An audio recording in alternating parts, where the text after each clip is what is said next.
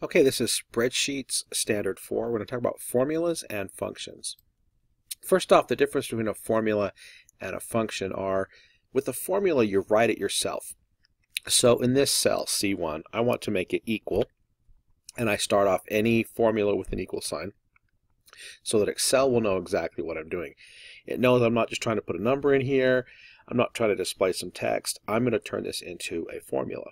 So I can click on A1, and you can see that it puts this in here for me. I hit the plus key and I can click on B1 and now it's going to add up those two values. So anytime I want to make a formula, I just click this, I'm going minus A, yes, A2 and B2, 0. It works just like in your math when you use the please excuse my dear Aunt Sally. If you make a complex formula, that's exactly what it will do. It will do those things in that particular order.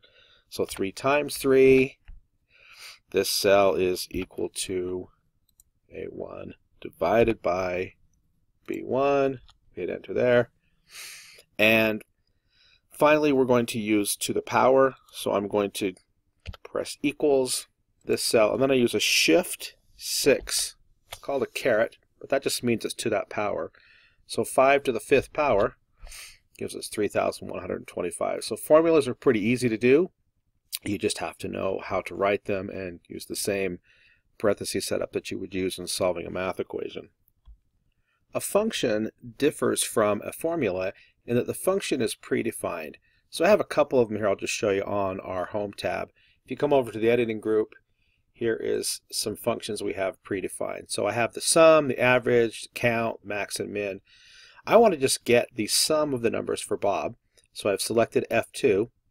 And when I press this key here, it's going to add up everything. It equals the sum of this range. I hit enter. That tells me how many I have. I've added a new column in here. I've just put in returns. Sometimes people bring back merchandise. Uh, this will just act as a simple addition equation, but adding the negative number. So again, I can go to auto sum, I can sum this up. It tries to guess where I'm going. And there we go. So if I grab the fill handle, it's going to automatically fill that down for me. And it's going to know that I'm getting the stuff from each of these different rows. I can also do some predefined functions. Let's get the average. Let's figure in April what we had for the average. If I select this function, the average of B2 through B5 was 2.5. In May, maybe I needed to know the maximum what was the most that got sold in May? That was three. And on these little data sets, it doesn't make much sense to do that. But on a really big data set, you may have trouble finding those numbers. And so Excel will do that for you rather quickly. It will tell you what you need. So it's pretty simple. And the way to tell them apart when you look in your formula bar is, is their word here at the beginning. A formula will be something that you've written, uh, but the function is already built right in. And there are a lot of functions. We're not going to go into very many at all here, but if we come in here, you can see we have all sorts of things. We can hyperlink, we can count them, we can use some logic, which we're going to do in a little while. Um, when you get into statistics, statistics, I can't talk. When you get into stats, uh, you'll do things with standard deviations and t-tests and some other things. But all these functions are in here for you. Uh, that just makes it easier because Excel is great with working with numbers. When we copy a cell that has a formula in it, as I'm going to do here, selecting E2 and E3, grab my fill handle, I'm going to copy the values down here to E4 and E5. Excel is smart enough to know that it wants this formula to be relative to where we were on this row because these two formulas were also relative. So when I'm looking at these, it tells it, look, we're going to go on row 5, we're going to go on row 4. But what if I absolutely want it to just be this cell? I can change this here in my formula bar by putting a dollar sign. When I put the dollar sign in front of the B, that means that we're absolutely just going to be using that, um, that column. I put a dollar sign here and absolutely using that row. And we're absolutely using through D2. So now the number still looks the same, but if I copy my formula, let's do a control C to copy my formula, and if I paste it down, I'm going to right click, I'm going to paste down just the formula. So it is telling me, look, we're still just keeping the value of B2 and D2. Even though relatively speaking, if we'd have just grabbed the fill handle, it would have pulled that down here. So, and you can see this would have added up to 7. So if you're going to be using um, absolute values, you kind of have to be careful. Uh, they can throw people off, but if you know what you're doing, then that's that's okay. Okay, I've undone those absolute cell values and gone back and replaced those with relative cell values so that we're getting the total for Ted and Alice and not just copying Bob and Carol down on top of them. Another way to use an absolute cell reference, if I'm pressing equals, I can make this equal to just this cell, and you see it's going to be equal to E2. And Excel is smart enough to know when I grab the fill handle, it wants to just have it relative to where it is, so it's going to drag my formula down one. Again, I could make it just equal to that one cell by putting the dollar sign in front of the column and a dollar sign in front of the row, and that locks in just that column and that row. So let's delete this, drag this down, and it tells me that's absolutely just the value of E2. I've gone back to our larger data set so I can show you some logic functions. The first one I'm going to show you is count if. So I've added a column here, column F. I want to know how many of the kids in our sample data here have Snapchat, Instagram, Facebook, Twitter, and YouTube. So those were all those were the the big five in the survey we took last year. So I'm going to come over here to this square. I'm just going to put the formula in here, and I can go to insert a function. And the function I'm looking for is called count if. So I want to count it if something happens. So here's count if. I click OK. And it asks me two questions. It asks me, what is my range? And so the range I'm searching for is just this column D, because that's where all my data is.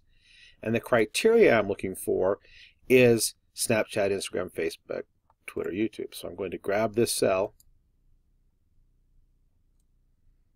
It's not letting me do that.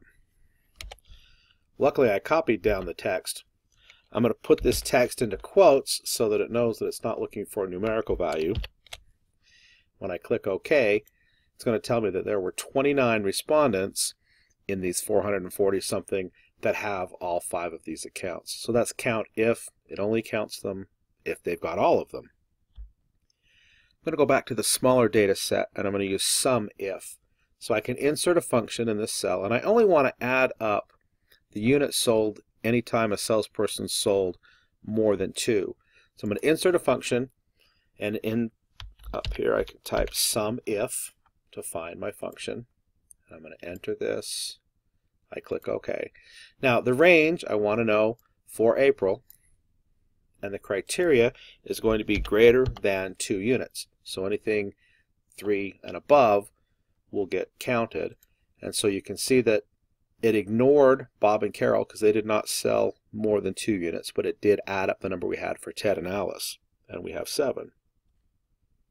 The last logical function I'm going to show you here is going to be average if. So for the month of May, I want to get the average of the sales if it was greater than one, so if they sold two or more.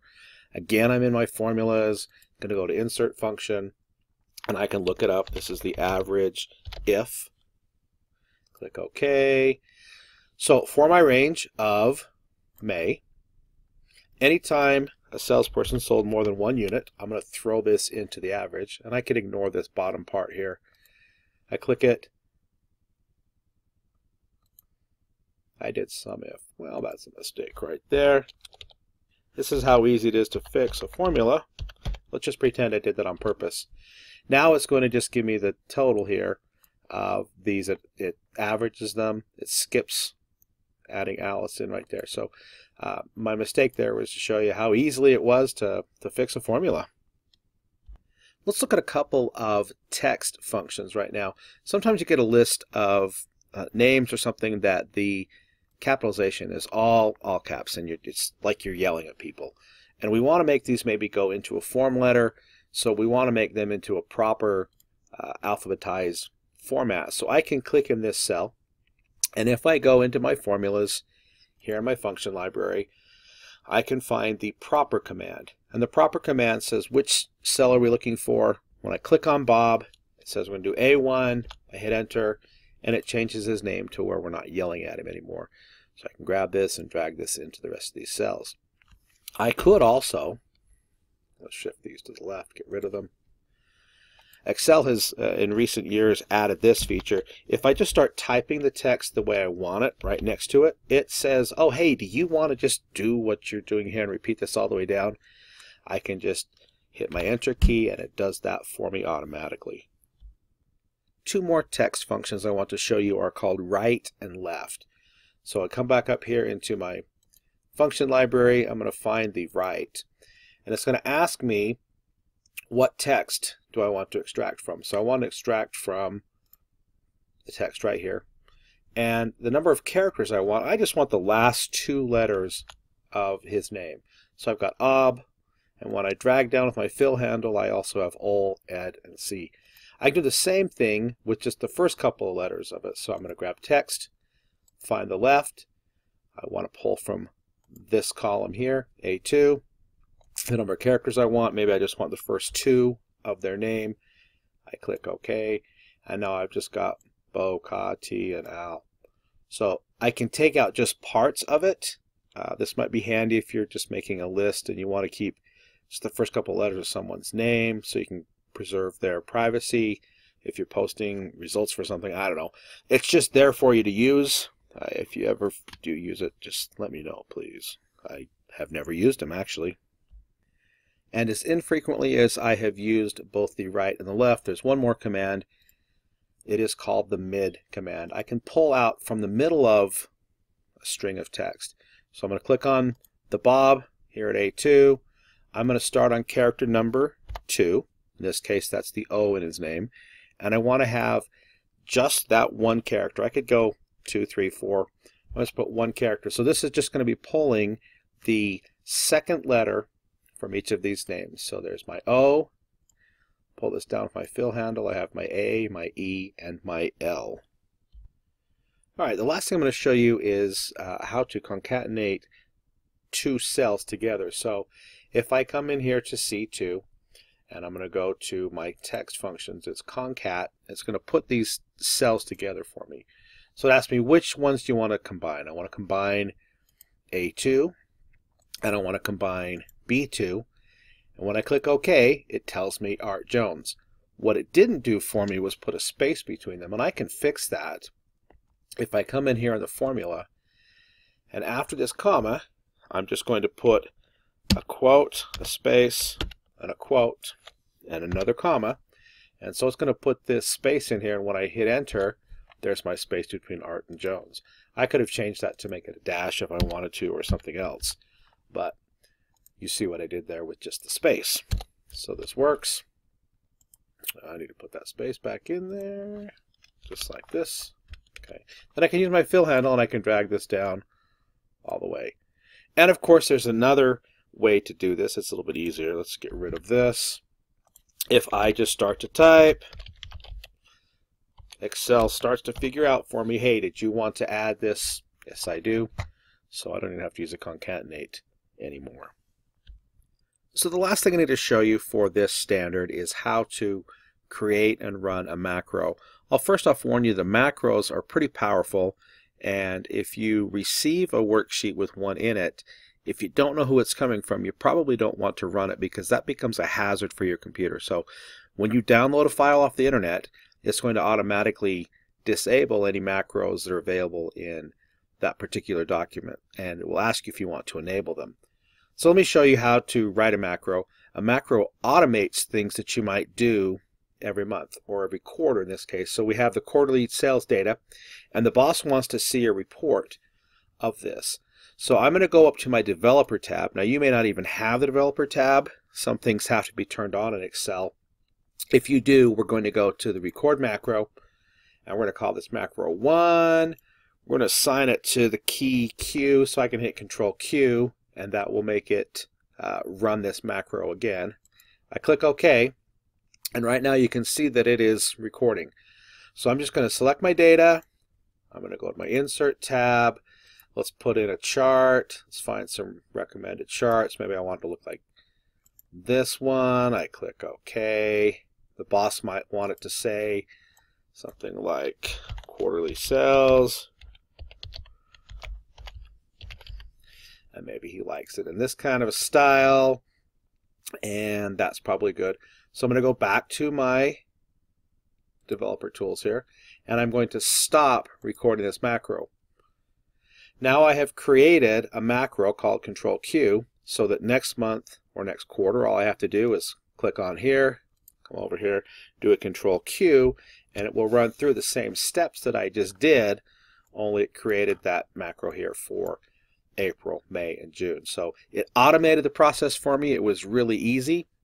But again, like I say, if you don't know who you're getting the sheet from, don't run their macros. And that is it for Standard 4.